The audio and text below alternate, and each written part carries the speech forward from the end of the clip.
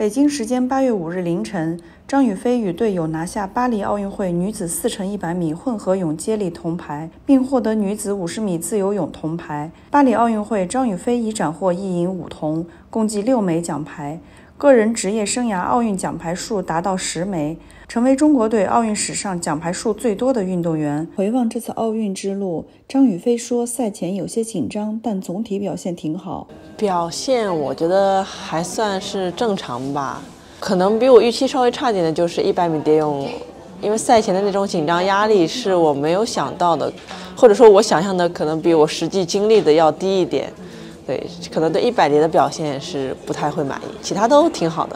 领奖台上，张雨霏头戴可爱的熊猫发箍，尽显中国元素。这个小亮点也得到了网友们一致好评。在之前的比赛当中，我都特别喜欢去带一些展示自己的一些元素啊，比如说蝴蝶啊，或者说呃糖果啊、鱼骨啊这种东西。然后去参加国际比赛，我就喜欢带一些带有中国元素的东西。但是因为碍于是奥运会，我前几天比赛就一直在纠结。我说这么庄重的场合，我一。戴个发箍上去会不会不太好？纠结了，然后到最后一天不管了，不管了，戴了吧。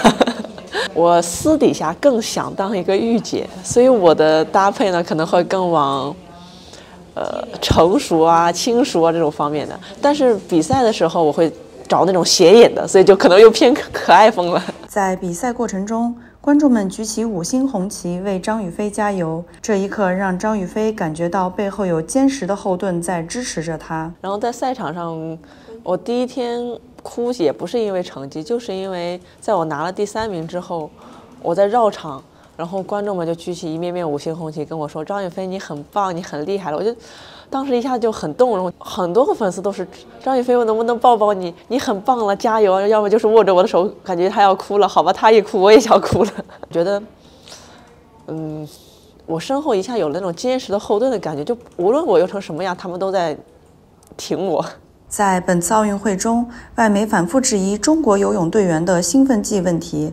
张雨霏表示。大家都是清白的，反复纠缠造成运动员心理压力增大。如果只是尿检的话，并没有什么，你只是提供一些尿样，可能影响的是我们的一些心心理波动吧。就是觉得我们大家都是清白的，明明也做了公示，为什么还要不断的下去质疑我们？而且在我们接受完了这么多次检查之后，他们还要把这些事情拿到赛场上的发布会啊，或者说赛后新闻采访啊去问我们，不断的去问我们。有些无奈吧，可能，因为讲了很多遍了，他们不信，你不信还要听我们解释，无奈又好笑，就是你也没有办法阻止人家做，你只能接受这样的事实，然后做好一切的心理准备。其实你到了赛场上跳下水的时候，你就不会再想这么多了。就我就是来比赛的，我的注意力只要放在比赛上就好，其他的事情游完再说吧。结束了紧张的比赛，张雨霏也想放松一下。她表示现在最想吃螺蛳粉。我觉得螺蛳粉跟我们家的米线很像，就徐州米线。我出来之前，我一直以为徐州米线就是全世界的米线都是一个样子，然后发现出来以后发现只有徐州米线是那个样子的。然后螺蛳粉的馅呢又跟米线很像，我特别爱吃螺蛳粉。我我其实我就爱吃里面的酸笋，就是我我可能不太能接受螺广西本地的螺蛳粉，但是我能接受外地的螺蛳粉，就有点臭过头不行。对于未来，张雨霏希望再参加下一届洛杉矶奥运会，她希望中国队男女混合泳接力可以登顶世界第一。训练计划暂时还没有，因为确实想在这次之后给自己先放个假。至于洛杉矶奥运会，暂时还没有规划，但是我去。